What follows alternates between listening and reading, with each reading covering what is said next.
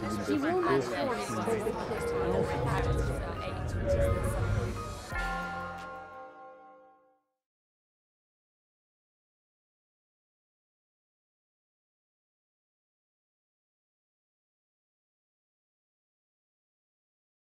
Hi everyone, I'm Andy McLellan. I'm, uh, I'm not sure what I describe myself as actually, kind of general dog's body and jack of all trades at the Pitt Rivers Museum, I suppose is my task. Um, I work with a lot of people who are significant experts. They know an awful lot about very small areas.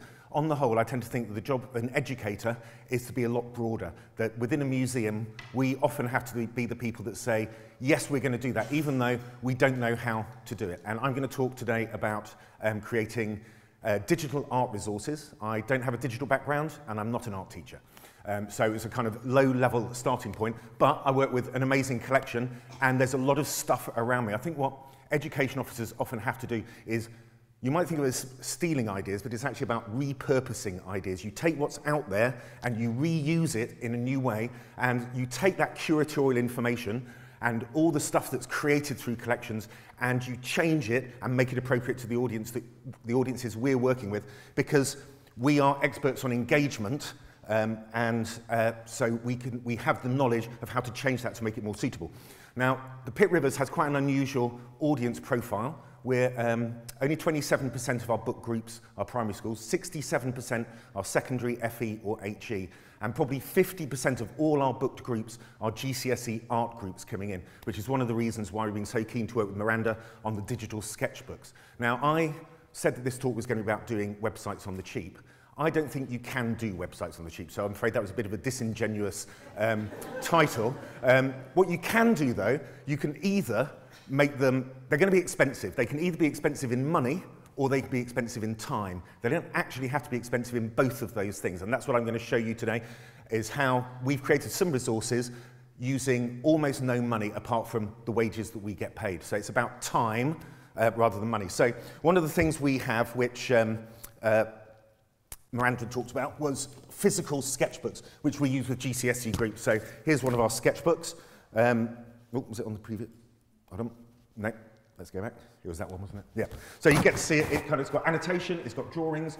Uh, in, at one level, it's trying to encourage students in the museum uh, to draw in particular types of ways using different uh, media. It's also about enthusing people, so they want to go out and do something.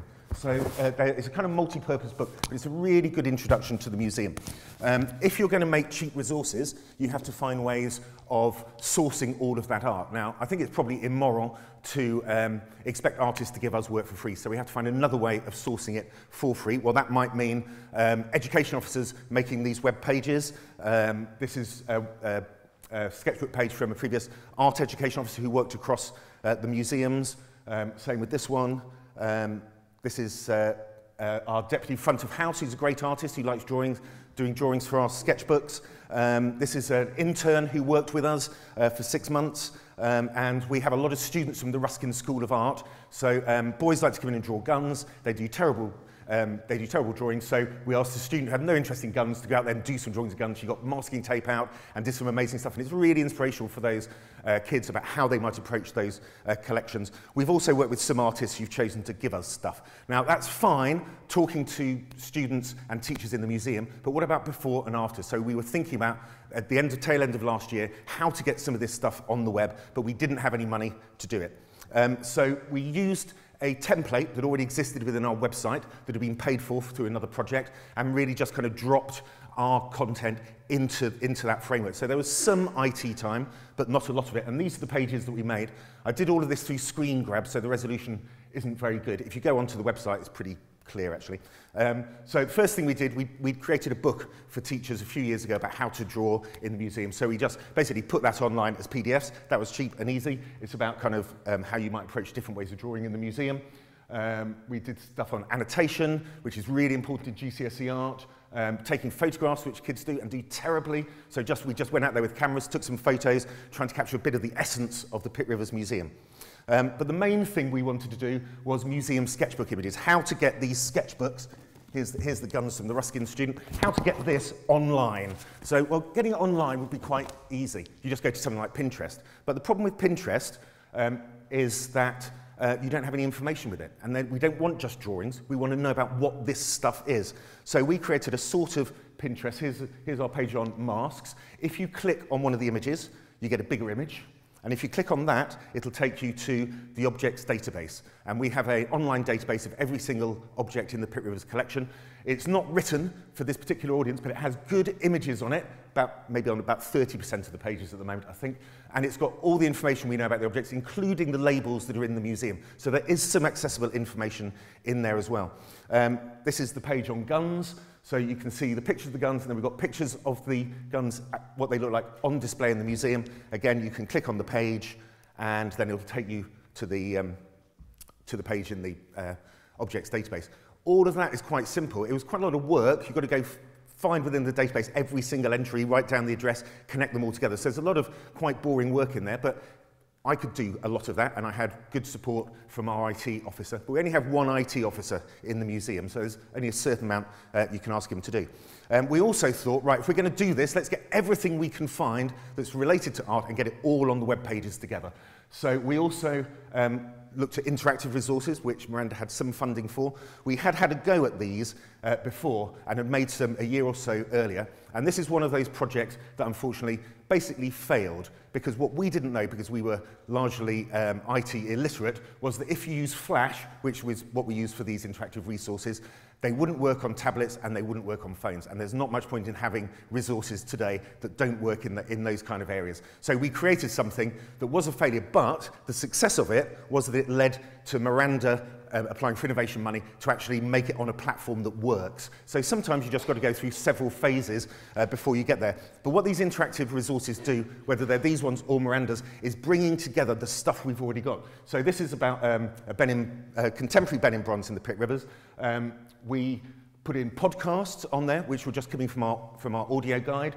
We put in film, which came from an, um, an HLF project, which was working with local metal workers. Um, and we contacted artists. Um, if you don't ask, you don't get. So we contacted uh, Grayson Perry, who was quite happy to let us use his images, and Sokari Campbell Douglas, who allowed us to use her images. Um, we also checked on some bits of film and resources and other things, and uh, images of artists who've worked with museums.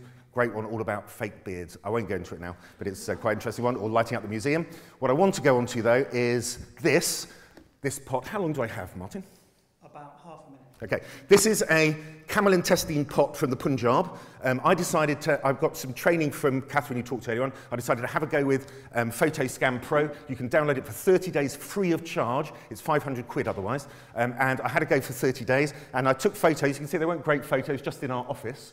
Um, and I even put it in a pencil pot to stand it upside down. I took 92 photos. I then spent about six hours um, uh, going through the software, but four of those hours was processing. It was kind of agreement with my son. I spent 10 minutes um, uh, working on it, and then he'd spend half an hour playing Minecraft, and then we'd swap over again. And by the end of the evening, um, I, well, I don't want to go to the trash, I want to get to that. By the end of the evening, I had this, which if I can, hold on a sec. Is it going to let me up? Oh, yeah. Which is the 3D image of, whoop, 3D image of this pot, which for some reason doesn't want me to, which you can turn over in all sorts of directions. For some reason, it's just got a strange colour. But, uh, but you can see just how wonderful, how wonderful that is. You can see a lot of detail. It's a kind of um, camel intestine papier-mâché. Instead of using paper, use camel intestine. But I think the detail on that I don't know why it's gone red. I clicked on it in the wrong way. Oh, there we go. You can see quite a lot of detail in there. And, and considering I'd never used it before, and it was a Friday evening, I did have a glass of wine in my hand while I was doing it, and other things kind of going on, I think it was a pretty successful go. Now, I would like to now use this. The, oh, by the way, what I'm showing you is a PDF that's small enough to be emailed. It's four megabytes, and I'm showing it to you in Acrobat Reader, which is free software that most of you have on your computers. This can be embedded into anything. I want to make one of those interactive resources that Miranda was talking about, or one of us to make using something like this so you can look at an object all around. I think there's a lot of future in stuff like this. Thank you.